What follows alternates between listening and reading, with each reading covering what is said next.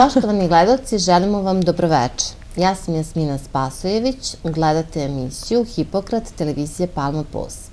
U poslednje vreme se često govori o bolestima kao što je diabetes, to je šećerna bolest, i poremeći štitaste žlezde, odnosno njene funkcije. Tako da smo i večeras izabrali da to bude tema razgovora sa našom gošćem. Često se diabetes može javiti udružen sa nekim od poremećaja štitaste žlezde. Bilo da je to u pitanju povećana produkcija hormona štitaste žlezde ili smanjena. O tome večeras razgovaramo sa vašom i našom gošćom, doktorkom Marijom Ristić, specijalistom interne medicine, subspecijalistom endokrinologije opšte bolnice u Jagodini. Doktorka, dobroveče dobro nam došli. Dobroveče, hvala vam na pozivu.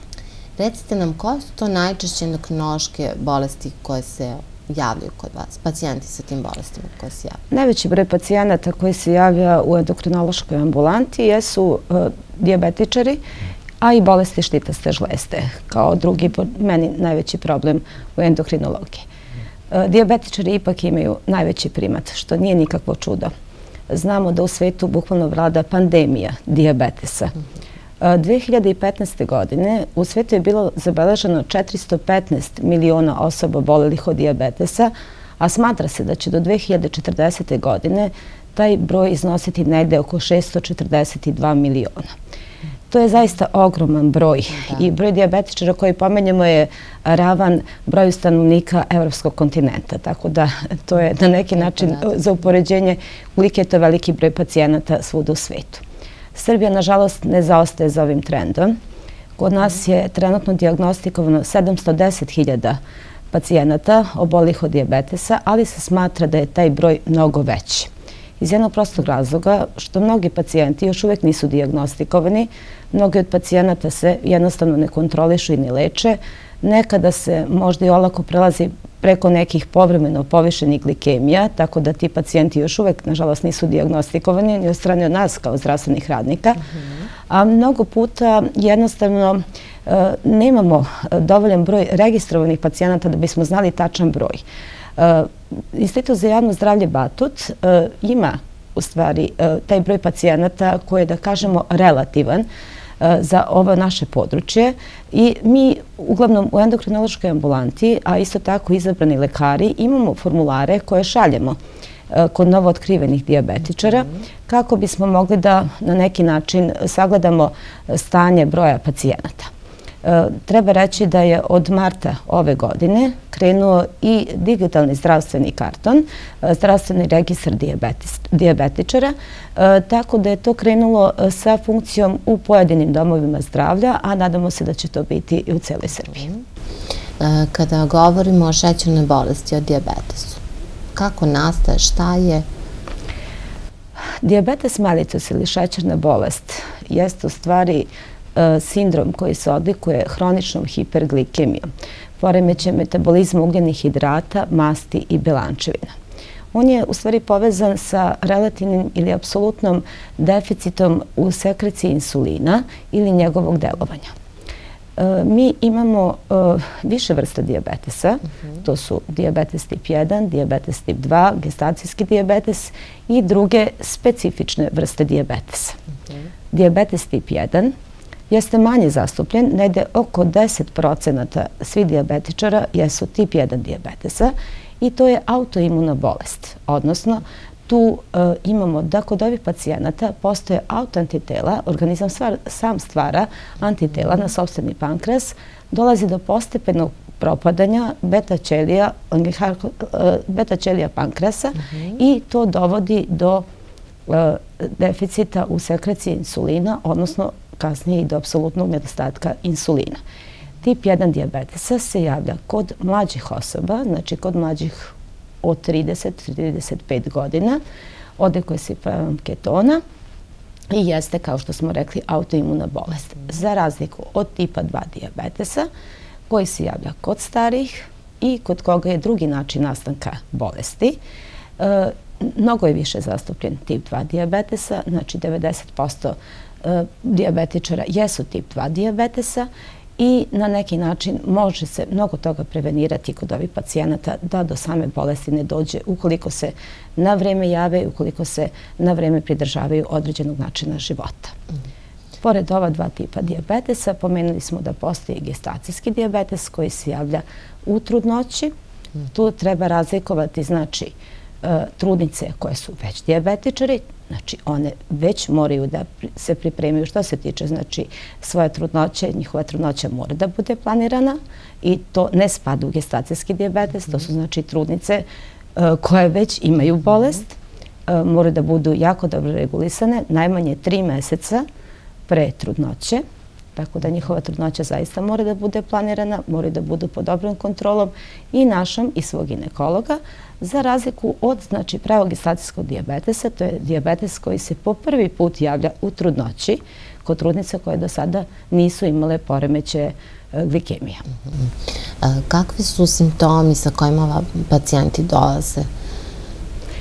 E, da bismo postavili diagnozu diabetesa, e, postoji više načina, znači postavlja se laboratorijskim analizama, pacijenti koji imaju diabetes žale se pored toga da e, osjećaju pojačanu žeć, da su im suva usta, da dosta mokre, da dosta jedu gube na kilaži. E, vrlo često osjećaju se umorno, slabo, tromo. E, sve to na neki način treba da bude, da tako kažemo, znak za opres i za dalju diagnostiku ovih pacijenata laboratorijskim analizama, da bismo mogli da postavimo diagnozu diabetesa, jeste u stvari dokaz postojanja glikemije koja je veća ili jednaka 7 e, milimola po litri, odnosno koliko se radi OGT test, to je glikemija koja je u 120 minutu, odnosno 2 sata posle, veća ili jednaka 11,1 milimol po litri ili u bilo kom trenutku tokom dana, bez obzira na obroke, izmjerena glikemija veća ili jednaka 11,1 milimol po litri. Mhm. Međutim, u diagnostici bolesti sada se uglavnom islužimo e, tromesečnim prosekom, e, glikoliziranim hemoglobinom HB1C, to znaju naši pacijenti jer ih kasnije donose na kontrolu i e, svaki nalaz Ove vrednosti HB1C koje je jednak ili veći od 6,5% predstavlja praktično dijagnozu diabetesa. Naravno, postoje stanja koje nazivamo stanjem prediabetesa. To su oštećenje glikemije naštinu, gde imamo samo povišene glikemije, znači bez drugih parametra ovoga te testu, gde su glikemije od 6,1 do 6,9 i imamo intoleranciju glukoze, gde znači postoji povišena glikemija naštinu, I u OGTT-u u 120. minutu imamo nalaz glikemije koja je jednak ili veći od 7,8, ali manji od 11 milimola po litri. Mhm. I na osnovu svih tih parametra možete da postavite da je u pitanju diabetes. Jeste, znači tamo gde su glikemije jednake ili preko 7, gde je HB1C jednak ili veći od 6,5 ili ukoliko se radi tamo gde ne postoji mogućnost da se uradi HB1C, radimo OGTT, gde dokazujemo da je u 120. minutu ta glikemija znači veća ili jednaka 11,1 milimola po litri. Mm. Kao što smo rekli, nalaz glikemije preko dana, bez obzira na obroke, e, koji je veći ili jednak 11,1 milimola po litri, također potvrđuje diagnozu diabetesa. A koje komplikacije mogu da nastanu kod osoba koje boluju od diabetesa? Komplikacije su brojne, nažalost. Mogu da budu akutne, mogu da budu hronične. E, od akutnih komplikacija može se razviti diabetesna ketocidosa, koja je jedno opasno i ugrožavajuće stanje po pacijenta. To su visoke glikemije sa pozitivnim acetonom urinu, gde pacijent osjeća iscrpljenost, dehidriranost, mučninu, povraćenje. Može se javiti jak bol u trbuhu koji nekada može da imitira akutno hiruško oboljenje, mhm. a da se o njemu uopšte ne radi, već upravo ovom stanju ketoacidose. I tu je potrebno brzo reagovati kako bi pacijent mogo da se stabilizuje i kako bi se znači e, doveo u normalu taj elektrolitni disbalans koji postoji i savladala ta hiperglikemija i uopšte loše stanje pacijenta. Druga akutna komplikacija, vrlo značajna, jesu brojne hipoglikemije koje mogu da se jave u bilo kom tipu diabetesa, znači na bilo kojoj terapiji. Činjenice je da kod tipa e, e, diabetesa bilo tip 1 ili tip 2, pogotovo onih koji su na insulinu, a naročito kod onih koji imaju već, više doze insulina, odnosno nalaze se na intenziviranoj insulinskoj terapiji, postoji veća mogućnost za pojavu hipoglikemije. Mm -hmm. Ova stanja niskog šećera također su opasna kao i stanja hiperglikemije. Tako da tu moramo reagovati. E, što znači da je najbitnije da se pacijenti koji već boluju, imaju diagnozu ovaj, šećerne bolesti, diabetesa, pridržavaju svoje terapije i određenih verovatno saveta vezanih za ishranu, fizičku aktivnost. Šta im savjetujete? Da ne bi došlo do komplikacije. Jeste. Uh, najvažnije u svemu, uh, bez obzira o kom tipu diabetesa se radi, jeste da pacijent pre svega bude svestan svoje bolesti i da prihvati svoju bolest. Neko ko je diabetičar mora dobro da poznaje svoju bolest i mora da promeni načine ishrane, e, načine i stil života. E, redovna terapija se podrazumeva. Nažalost, mi danas imamo mnogo puta situaciju da se pojave osobe kojima se diagnostikuje diabetes, mhm. kojima se propiše terapija, a nakon toga ih više ne vidite po 5-6 godina. Mhm. To je zaista neodgovorno tih pacijenata. Umeđu vremenu, kada se pojave posle tih nekoliko godina, upućeni uglavnom od njihovog izabranog lekara zbog jako visoke glikemija, već dolaze sa razvojenim komplikacijama diabetesa i saznate da ili su neko vreme koristili terapiju ili nisu je koristili uopšte, umeđu vremenu se nisu uopšte ni kontrolisali. Mhm. Upravo zbog toga e, apelujemo pre svega na naše pacijente da redovno uzimaju terapiju i da se pridržavaju naših saveta. E, da ne bi došlo do komplikacija, ili da bismo bar usporili razvoj tih komplikacija. Mhm. Hronične komplikacije su brojne, znači tu mogu biti i mikrovaskularne i makrovaskularne komplikacije. Poznato je da se kod diabetičara mnogo češće javlja diabetesna nefropatija, e, to je oboljenje bubrega zbog mhm. šećerne bolesti, tako da ne ide oko polovina stanovnika, polovina diabetičara, na dijalizi jesu znači ovaj, ti pacijenti koji boli od diabetesa dugo godina kod koji se razvila to komplikacija i to je zaista ovako jedna okolnost koju treba uzeti u obzir. Isto mhm. tako, diabetesna retinopatija, mhm. znači promene na očnom dnu kod diabetičara, sve to može kasnije dovesti do slepila, razvoj katarakte i mnoge druge oftalmološke komplikacije. Razvoj polineuropatije, eh, oni osjećaju trnjenje u nogama, bolove, grčeve, pečenje. Kod njih je smanjen prag bola, eh, otežano je kretanje. Eh, tu moramo da uključimo neurologe u dalju terapiju i kontrolu ovih pacijenata, naravno kardiovaskularne komplikacije, cerebrovaskularne komplikacije, Poznato je da su diabetičari oni koji češće imaju koronarnu bolest, koji češće doživljavaju cerebrovaskularni insult. E, Najde oko dve trećine pacijenata koji se leči u koronarnim jedinicama pripada grupi pacijenata sa diabetesom. Što znači da smo negde dotakli jedan ovaj, vid lečenja, da pored e, medikamentozne terapije, lekovima, da je jako bitan ovaj drugi deo to jest savjeti i pridržavanje tih savjeti. Bez obzira o kom tipu diabetesa se radi, dijeta i fizička aktivnost ostaju glavne preporuke i naravno edukacija pacijenata.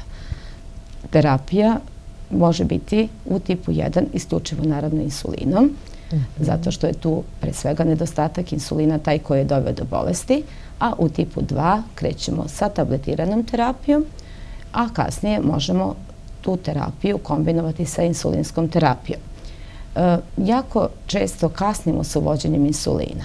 Nažalost, još uvek postoji ta neka fama da neko ko prima insulin, znači to ništa ne valja, e, to, će, to znači da je njegov životni vek skraćen. Ne, naprotiv. Insulin treba uvesti što ranije u terapiju. Preporuke se da ukoliko, znači, kod diabetičara koji su tek otkriveni, već nakon 3 do 6 meseci, ne postigne se dobra glikoregulacija, ne postigne se zadovoljavajući HB1C, treba uvesti insulinsku terapiju. Postoji ta mogućnost. Ipak je to i dalje najbolji vid e, terapije koji postoji. Što se tiče tabletirane terapije, naravno imamo veći broj preparata koji možemo da koristimo. To su naravno i preparati sulfonil re, bigvanidi, To su DPP-4 inhibitori, GLP-1 agonisti. Većina tih lekova jeste na listi fonda, nešto od toga nije, ali se mhm. nadamo da će biti. Što se tiče insulinske terapije, tu zaista imamo pristupa trenutno svim insulinima mhm. i savremenoj terapiji koja postoji svuda i u svetu. Naši pacijenti prvo kreću sa humanim insulinima, to je i zakonska mhm. obaveza kod nas, a kasnije, ukoliko postignu ovaj, nezadovoljavajuće vrednosti glikoziranog hemoglobina i ukoliko nisu dobro regulisani, imaju hipoglikemije ili imaju visoke postprandijalne glikemije, prelazimo na terapiju tim savremenim modifikovanim insulinima koji se nazivaju analosi. Mhm. Recimo, pomenuli ste hipoglikemiju, neko ko je na terapiji zbog šećerne bolesti. Šta savjetujete u toj situaciji? Jel može da prepozna ovaj na osnovu simptoma? Pacijenti mogu da imaju drhtavicu, preznojavanje, osjećaj gladi, osjećaj konfuzije, zbunjenosti, nekada to može biti vrlo izražena hipoglikemija koja može dovesti nekada do poremećaja svesti, odnosno kome. Mhm. E, nekada može da se javi čak u sklopu epileptičnog napada, u vidu epileptičnog napada, ukoliko se radi o teškim hipoglikemijama. Mislim da nema diabetičar na insulinu koji nije imao bar jednu epizodu mhm. hipoglikemije, e, ali treba ih preduprediti. Znači, kao što ne valja visok šećer, isto tako ne valja nizak šećer dokazano je da vrlo česte hipoglikemije mogu dovesti do ozbiljnih aritmija koje mogu da ugroze pacijenta, čak mogu da dovedu do smrtnog ishoda. Ta neka variabilnost glikemija o kojoj se puno govori vrlo je značajna jer je taj oksidativni stres koji se javlja pri velikim fluktuacijama glikemija u stvari e, dovodi do endotelnog oštećenja mnogo jače nego konstantna hiperglikemija. Mhm. I upravo ovoj pacijenti su u većem kardiovaskularnom riziku od pacijenata koji nemaju te velike variacije glikemija. I kada prepoznaju nešto od tih simptoma, da li treba uzeti nešto slatko ili kako Naravno, oni znaju da odreaguju, da uzmu nešto slatko što će podići te vrednosti šećera, da nakon toga pojedu obrok, ali treba preduprediti te hipoglikemije. Da ne dođe. Imate, da, mislim da svi ti pacijenti su uglavnom prošli e, e, više puta edukaciju kako i šta treba raditi, kako treba smanjiti svoje doze insulina pri fizičkoj aktivnosti, pri sportskim dešavanjima, ukoliko nešto više e, imaju neko veći fizički rad u odnosu na prethodne dane. Tako da oni uglavnom znaju kako treba da smanje svoju dozu insulina ili tablete koje koriste. Pored toga moraju da imaju dodatne obroke u odnosu na one obroke koje već imaju redovno.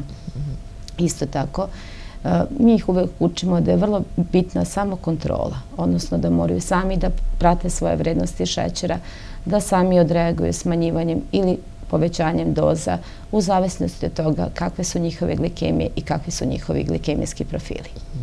Da slušaju prosto svoj organizam i da redovno reguluju. Jeste. Svaki pacijent je individual za sebe i terapija mora da bude individualna.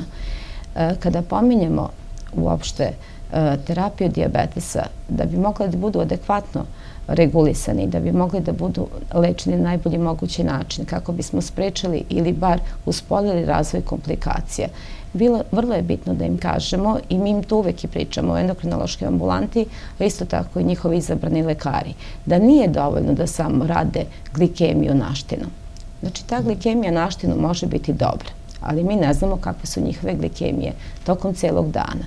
One mogu biti mnogo puta vrlo visoke. Upravo zbog toga vrlo je važno da osim te glikemije naštinu rade se takozvane postprandijalne glikemije. To su glikemije koje se rade 1,5 do 2 sata posle obroka i koje i tekako e, utiču na razvoj mikrovaskularnih i makrovaskularnih komplikacija kod ovih pacijenata. Zato na njih, ukoliko one nisu adekvatne, treba adekvatno delovati. Neke ciljne vrednosti, da bi smo mogli da kažemo za nekoga ko ima diabetes da je dobro regulisan, jeste da te glikemije jutarnje budu ispod 7, a da te postprandijalne, odnosno postobročne glikemije, budu ispod 9. Neke najnovije preporuke su praktično sada pustle to mogućnost i do 10, ali kod nas je još uvek u Evropi na snazi znači, do 9 milimola po litri. Isto tako, taj glikozirani hemoglobin treba da bude ispod 7, da bismo rekli da je neko ko je diabetičar dobro regulisan. Što se tiče vrednosti uh, postprandelnih glikemija, možemo delovati uh, na njih. Uh, pacijenti će nam se javiti ukoliko sami ne mogu da dovedu te vrednosti u neku normalu, Ali, ono što je vrlo bitno, treba reći da taj glikozilirni hemoglobin koji rada, odnosno vrednost tromesečnog prosjeka HB1C, takođe treba da bude uvek urađeno u njihovim laboratorijskim analizama kada dođu na kontrolu. To je na nam, u principu uh, jedan od načina da pratimo kako se njihovi šećeri u posljednje dva do tri meseca, jer upravo HB1C to i znači. Znači, kakve su glikemije za zadnje tri meseca kod ovog pacijenta. Osim toga, e, tu je i ova variabilnost glikemije o kojoj smo pričali, da li postoje e, značajne hipoglikemije, značajne hiperglikemije, velika variabilnost. E, neko ko ima isti glikolizirani hemoglobin, HB1C, ne znači da ima isti glikemijski profil. I onda insistiramo na pacijentima da osim svega toga što urade, znači donesu vrednost glikemije naštinu, urade postprandelne glikemije, da nam urade znači celokupan glikemijski profil. Glikemijski profil ne znači samo uraditi glikemije pre svakih obroka, nego znači i postprandijalne glikemije, uraditi glikemiju u ponoć, uraditi glikemiju u 0,3 i opet ujutru. Zašto u 0,3? Primećena je vrlo česta pojava noćnih hipoglikemija koje treba mhm. izveći. Nekada pacijenti ove hipoglikemije primećuju, to ih probude iz sna, tako da mogu da odreaguju ali vrlo često ove hipoglikemije, pogotovo ako su blaže, ostanu neprimećene. Naravno, organizam se sam kontraregulatornim hormonima izbori i vi ujutro imate čak povišenu glikemiju. Kada pacijent dođe bez glikemijskog profila, samo sa glikemijom naštinu i HB1C, a nemamo pri sobom i glikemijski profil, mi možemo da pomislimo da to nije baš adekvatna glikemija i da šta više povećamo doze insulina, a onda ulazimo u jedan začarani krug. Te veće doze insulina ponovo ga uvode u hipoglikemije. Šta biste preporučili onima kojima već, e, koji imaju predispoziciju, nisu oboli od diabetesa, a imaju predispoziciju da obole, kako se zaštititi? E, i tekako je bitna prevencija da do bolesti ne dođe. E, gojaznost je jako veliki problem. Znači, ne možemo za sve okriviti genetiku. Naravno da postoji e, genetske komponente u svemu tome. Možemo da kažemo da recimo u tipu 1 diabetesa, to je sasvim drugačija ove vrsta bolesti, recimo, rekli smo da je to autoimuno obolenje i da svega nekde 10 do 15% recimo pacijenata sa tipom 1 diabetesa ima u svojoj porodici neko koje je obolalo istog tipa diabetesa. E, već je taj genetski faktor Značajniji u tipu 2 diabetesa, gde vrlo često imamo podatak da znači postoji pozitivna porodična anamneza o već postojanju diabetesa u e, porodici obolelog. Međutim, najveći procenat pacijenata sa tipom 2 diabetesa, nede oko 80%, je gojazno. Gojaznost je jedan od faktora rizika za nastanak diabetesa tipa 2. Koji još od faktora rizika mogu biti opasnost za nastanak? Činjenica je da je jedan sedatarni način života, odnosno e, manjak fizičke aktivnosti jako veliki mhm. problem. Tako da je to nešto na što trebamo obavezno ovaj, savjetovati svima i onima koji su zdravi i koji nemaju mhm. predispoziciju kako upravo ne bi došli u situaciju e, da postanu gojazni da bi mogli na vreme da promene svoj način života i na taj način da preveniraju mnoge bolesti, ne samo diabetes. Da, da, to se pravi. E, činjenica je da živimo takođe u stresnom vremenu, tako da je i stres taj koji svakako utiče na češću pojavu svih ovih oboljenja. Što se tiče diabetesa tipa 2, treba reći jednu stvar, da u njegove osnovi uglavnom jeste i nedostatak insulina, ali pre svega postojanje takozvane insulinske rezistencije. Kod ovih pacijenata u stvari postoji insulin, dovoljno insulina, a znamo da je uloga insulina u stvari da omogući prelazak glukoze iz krvi u ciljna mhm. tkiva, jetru, mišiće, masno tkivo, jer je glukoza naš izvor energije.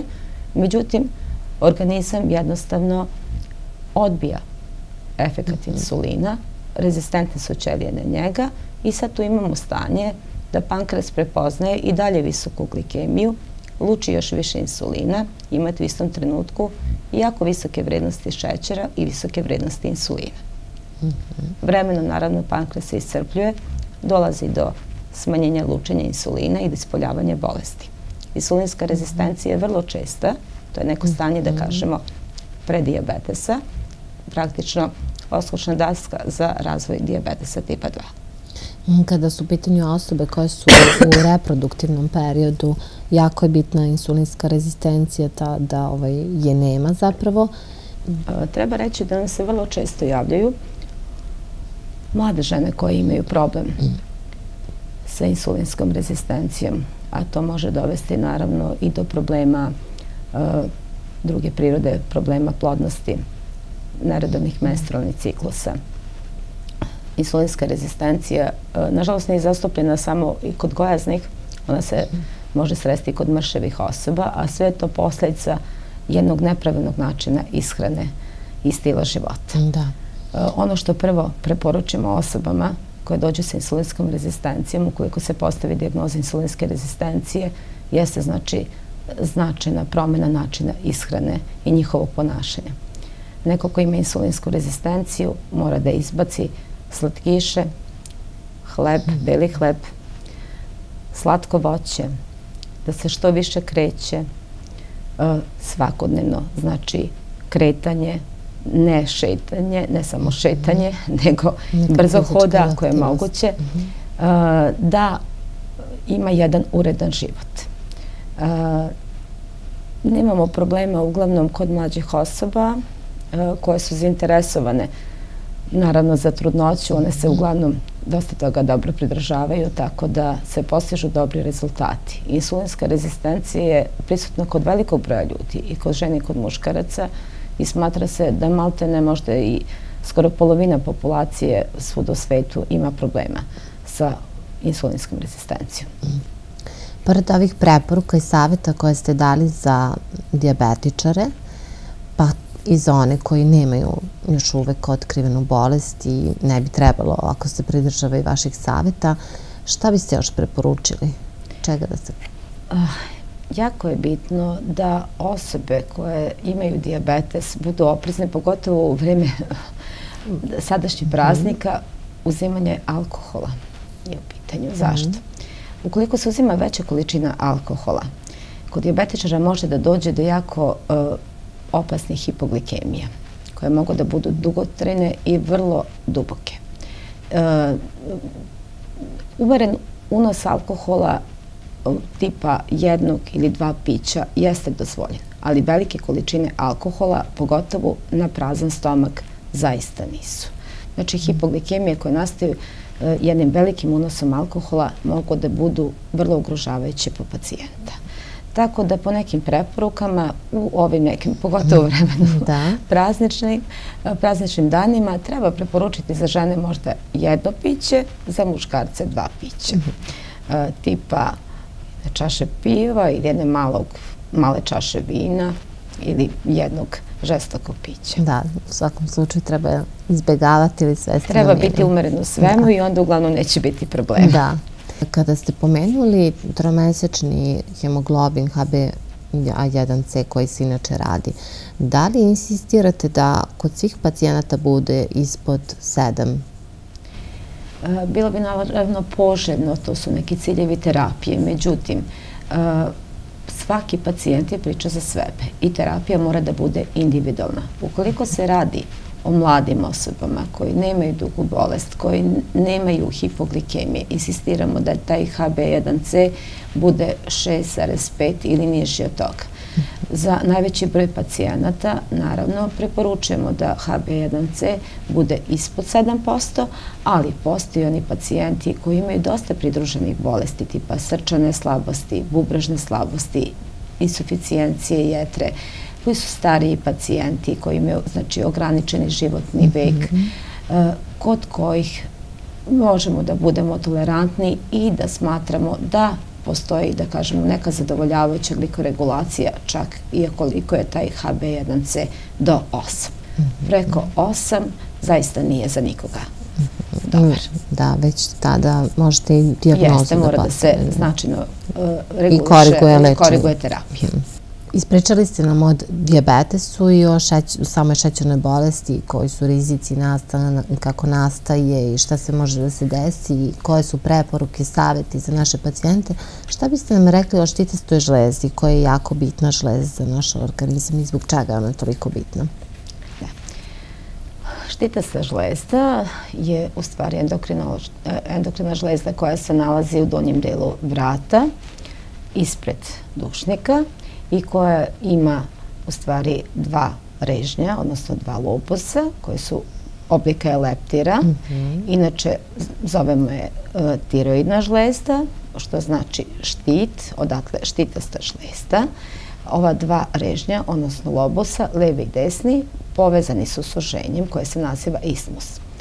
Ova žlezda je vrlo značajna s obzirom da učestvuje u brzini metabolizma u našem organizmu, učestvuje u e, razgradnji masti, u sintezi proteina, u rastu i razvoju, u seksualnoj funkciji, u održavanju normalne trudnoće, u održavanju normalnog menstrualnog ciklusa kod žena, utiče na pamćenje, koncentraciju, mhm. razvoj moždanih funkcija. U fetalnom periodu, ukoliko postoji nedostatak ovih hormona, može da dođe do mentalne zaostalosti. Mhm. Zato je izuzetno važna. Znači, praktično, vrlo, vrlo značajnu funkciju ima za ceo naš organizam. Mhm. Koji su najčešći poremećaj štitaste žleze sa kojima se vi srećete? E, mi znamo da štitasta žlezda luči hormone koji upravo ovo što smo pričali regulišu sve u mhm. našem organizmu, ali nekada može da dođe do smanjenja rada štitaste žlezde, odnosno do smanjenja lučenja ovih hormona mhm. i tada nastaje hipotiroza, ali može da dođe i do pojačanog rada štitaste žlezde i to nazivamo hipertirozom. Takođe, osim ovoga, postoje takozvane upale štitaste žlezda, odnosno tiroiditisi. Mm -hmm. e, imamo pacijenata koji se dolaze sa svom ovom patologijom. Mm -hmm. Naravno, treba reći da e, taj broj pacijenata je vrlo veliki i kod nas i u svetu, negde preko 200 miliona ljudi u svetu ima neki problem, odnosno neku patologiju koja je vezana za štitastu žlezdu. Taj procenat otprilike postoji kod nas i ovo što smo već rekli da vrlo često se jedna endokrinološka bolest javlja udružena sa drugom endokrinološkom bolešću. Tako da imamo i veliki broj pacijenata koji imaju i diabetes, da imaju usto uh, neki oblik tiroidita ili hipotireozu. Šta uglavnom dovede do tog poremećaja rada funkcije štitaste žlezde? Uzorci mogu da budu različiti, zavisi o kojem se oboljenju radi. E, treba prvo reći da štitasta žlezda luči važne e, hormone, e, triotironin i tiroksin, a isto mhm. tako i kalcitonin koji učestvuje u regulaciji metabolizma kalcijuma u našem organizmu i kada dođe do smanjenog rada štitaste žlezde, smanjuju se količina ovih hormona u našem organizmu. Inače, ovi hormoni su pod uticajem, odnosno pod kontrolom tirostimulišućeg hormona, TSH, koga luče hipofiza. U stanju hipotireoze, znači smanjenog rada štitaste žlezde, imamo da se TSH povećava, ali se zato hormoni štitaste žlezde smanjuju. Znači imamo nizak FT4 E, e, a visok TSH. U ovom slučaju moramo da dodajemo hormone pacijentima, odnosno da pacijentu preporučimo substitucijnu terapiju kako bismo to doveli u normalu. Vrlo je bitno reći da pacijenti moraju da uzimaju pacijentu propisno, znači terapiju propisno. Znači, ako smo prepisali lek kao substitucijnu terapiju, taj lek treba uzeti ujutru naštinu, pola sata pre jela i pre svake druge terapije. Ko, koji su uglavnom simptomi kod osoba? Da li osoba Osobe samo prepozna? koje imaju hipotireozu osjećaju se tromo, bezvoljno, često su pospane, primećuju da su dodale na telesnoj težini. Vrlo često mogu da se jave i otaci e, lica, očiju, nogu, e, poremeće krvnog pritiska, poremeće menstrualnog ciklusa. E, javljaju se vrlo često i neka stanja depresije, bezvoljnosti. Tako da sve to na neki način može da bude alarm da treba proveriti hormone štitaste žlezde. Od hipotiroze i unače od bolesti štitaste žlezde češće boluju žene u odnosu na muškarce. A što se dešava kada je u pitanju povećana funkcija? Kod povećane funkcije štitaste žlezde imamo da se ti hormoni izlučuju u većoj količini i tada su FT4 i FT3 povećani, a TSH je snižen. To je sasvim znači suprotna ovaj, suprotna, da kažemo suprotna problematika u mhm. odnosu na hipotireozu, gde moramo da uključimo lekove koji će smanjiti to povećano oslobađanje hormona. Kod ovih pacijenata koji imaju hipertireozu mogu da se jave preznojavanje, tremo ruku, osjećaju pojačano znojenje, gube na kilaži, e, vrlo su nervozni, osjećaju lupanje srca, e, osjećaju preskakanje srca može da se javi. Inače, zaista mogu da se javi aritmije. Šta više, kod vrlo e, teži, da kažemo težih oblika hipertiroze može da dođe do poremećaja ritma u smislu pojave fibrilacije predkomora. Tako da i ove poremeće naravno se leči tako što dajemo lekove koji sprečavaju to pojačano oslobađanje hormona. Međutim, u nekim stanjima, kao što su upale štitaste žlezde, odnosno tiroiditisi, mi imamo da postoje znači, poremeće i u hormonima, ali to nisu prave, recimo, hipertireoze, tako da imamo visoke vrednosti FT4, FT3, niske TSH, ali drugi neki pokazatelji koje mi radimo, laboratorijski kontrolišemo, e, ukazuju da se radi samo o upali štitaste žleste. To su stanja koja mogu da budu praćena povišenom sedimentacijom, čak i povišenom temperaturom, mogu da budu praćena lupanjem srca, preznojavanjem, pacijent se osjeća loše, međutim to nije prava hipertiroza. To je stanje koje će vremenom prestati i koje ne predstavlja pravu hipertirozu. Postoji razlika između hipertiroze i stanja tirotoksikoze. Znači, hipertiroza jeste znači, prava bolest koja se odlikuje i postojanjem pozitivnih TSH receptorskih antitela, dok stanja tirotoksikoze predstavljaju povećanje ovih hormona, ali zbog e, oštećenja tkiva štitaste žlezde, a ne zbog pojačane sekrecije. Kada ste sada napomenuli oštećenje tkiva štitaste žlezde, nekada mogu da se jave takozvani čvorići ovaj, na toj štitastoj žlezdi. Mnogi kažu našao mi je doktor neki čvor. Da. Da. Šta to znači? E, štita žlezda može da bude difuzno izmenjena, znači da nema čvorova, ali mogu da se jave i takozvani nodusi, odnosno mhm. čvorovi na štitaste žlezdi. E, nekada se može javiti samo jedan čvor, tako da to nazivamo nodosnom strumom, a može se javiti i više čvorova i to je polinodosna struma. E, kod postojanja čvorova vrlo je važno pratiti kako izgledaju ti čvorovi. Znači, oni mogu da budu praćeni nekada smanjenim radom štitaste žlezde, nekada može da se javi pojačan rad štitaste žlezde, a kod jednog velikog broja pacijenata e, imamo sasvim normalnu funkciju hormona. Znači, nije potrebna terapija u smislu nekog poremeća, hormonskog poremećaja. To su eutiroidni pacijenti. E, e, činjenica je da maltene polovina, možda i više od polovine pacijenata koji imaju neku patologiju, imaju neki čvorić. Mhm. Mislim da je to vrlo čest nalaz ali ne mora, upravo to što kažem, e, mnogo puta to su zaista dobročudne ove, promene koje ne zahtevaju čak ni nikakvu terapiju. Međutim, treba ih pratiti, pogotovo kada se radi znači, o jednom čvoru koji može da bude više sumnjiv nego kada se radi o više čvorova. Mhm. Kako izgledaju ti čvorovi? Znači, proveravamo e, bilo palpacijom štitaste žlezde, ultrazvučno, može se raditi naravno i scintigrafija štitaste žlezde i na osnovu toga procenjujemo e, da li su ti čvorovi dobroćudni ili postoji čak i rizik za razvoj nekog maligniteta štitaste žlezde.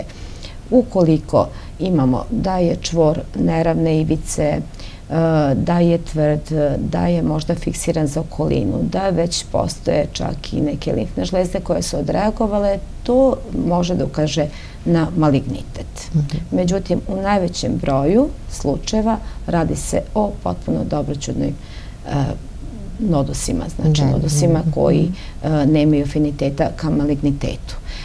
Nekada nismo sigurni da li ipak može da se e, desi da taj čvor može da postane malignan ili to već jeste, tako da možemo da uputimo pacijenta i na punkciju štitaste mhm. žlezde.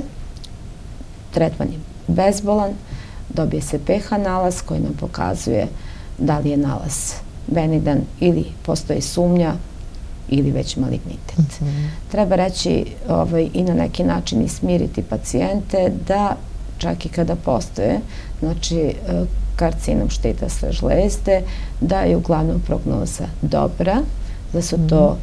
karcinomi koji vrlo sporo rastu i vrlo sporo daju metastaze, tako da na neki način to operativno lečenje kod najvećeg najvećeg broja vrsta, odnosno vrsta ovaj, karcinoma štite žlezde dovodi i do izlečenja. Izlečenja, da, što je jako bitno u odnosu na karcinome drugih organa. Jeste, to važi za papilarni i za folikularni karcinom štitaste žlezde koji spadaju u karcinome koji vrlo sporo rastu. Naravno, postoji medularni, postoji anaplastični, e, anaplastični mhm. karcinom ima lošiju prognozu. Mhm. Kada ste pomenuli da je jako bitna za reproduktivni period, možete li nam reći nešto o tome koliko ovaj, taj nivo hormona mora da bude regularan da bi smo krenuli u priču? Poremeći rada štitaste žlezde vrlo često mogu da dovedu do poremećaja menstrualnog ciklusa kod žene i da dovedu do neplodnosti. Tako da je to nešto što pri ispitivanju i lečenju steriliteta je jedna od prvih analiza koja se radi. Poremeći takođe menstrualnog ciklusa mogu i ne moraju da imaju veze sa štitastom žlezdom, ali ukoliko postoji neki poremećaj u radu štitaste žlezde, treba se treba se javiti na pregled u endokrinološku ambulantu kako bi se uključila adekvatna terapija. Činjenica je da je preporuka da žene, trudnice, treba da imaju pogotovo u prvom trimestru trudnoće vrednost TSH ispod 2,5 kako bi mhm. trudnoća protekla bez ikakvih problema. Naravno, redovno će se kontrolisati kod nas, a uz to e, treba napomenuti da i one osobe koje već boliju od nekog poremeća štitaste žlezde, e, potrebno je da opet isplaniraju svoju trudnoću, da vrednosti TSH budu adekvatne i u tom prekoncepcijskom periodu i tokom čitave trudnoće, kako upravo ne bi došlo do malformacija ploda i do neželjenih dejstava. Da, pomenuli ste da na fetus može da utiče mentalnom zaostalu, što kasnije da se tako ispolji. E, šta bi bila preporuka vezana za obole koji imaju poremeće rada, štitaste žlezde, što se tiče ishrane, nekih drugih navika, pušenja, alkohola? Štite se žlezda, odnosno problemi vezani za štitastu žlezdu ne idu sa pušenjem. Mhm. Znači, bilo bi poželjno da osoba koja ima čvorić ili bilo kakav poremeće rada štitaste žlezde ne puši. Takođe se preporučuje što manja konzumacija alkohola naravno, ali to preporučujemo svima. Postoji, da kažemo, neke vrste hrane gde treba biti oprezan. Naravno da znamo da postoje neka, recimo neke namirnice koje su definitivno strumogene, ali e, da to ne bude sada ovako da se pacijenti sami leče, to ne nikako, pošto one vrlo često e, pokušavajući da na neki način prirodni e, izlečite svoje poremeće dovedu do još goreh stanja. Znači, vrlo je bitno da kažemo da postoje znači, te neke strumogene ovaj, namirnice tipa kupusa, karfiola, kelja, brokolija, soje, sojnih ovaj, proizvoda. Međutim, uglavnom i te, e, kad se radi unosu namirnica u sirovom stanju, e, ukoliko ih termički obrađujete, uglavnom se gubi ta njihova e, strumogenost, a naravno i kod onih koji imaju pojačan raštitaste žlezde treba znači izbegavati morske plodove, izbegavati alge, morske alge, sir, jaja, crveno meso, alkohol, kofein nisu preporučljivi. Znači treba se pridržavati tih preporuka i terapiju naravno. Pre svega se treba pridržavati terapiju ukoliko je terapija propisana, a ovome drugome ćemo popričati kad doću kod nas šta i kako. U principu jedna umerena i ravnotežena ishrana omogući da organizam radi kako treba i da terapija odradi ono što treba. Hvala vam što ste bili gost emisije Hipokrat i na večerašnjem gostovanju i savjetima koje smo čuli od vas. Hvala Nadam i vama. se koristit će našim slušalcima. Hvala i vama. E, poštovani gledalci, e, gledali ste emisiju Hipokrat. Nadam se da ćete primeniti savete i preporuke koje ste čuli od doktorke Marije Ristić. A isto tako, ukoliko već imate problem, to jest već bolujete od šećerne bolesti ili nekog poremeća štitaste žlezde, redovno redovno uzimate vašu propisanu terapiju, a i samim tim promenite način života, način ishrane, fizičku aktivnost uvedite, bolje je sprečiti nešto nego lečiti. I zdravlje je jedno blago, a blago je najveće bogatstvo. E, vidimo se u sledećoj emisiji sa novim gostom i novom temom, a do tada želim vam prijetno večer. Moje ime je Jasmina Spasojević. Hvala na pažnji i ostanite uz TV Palm Plus.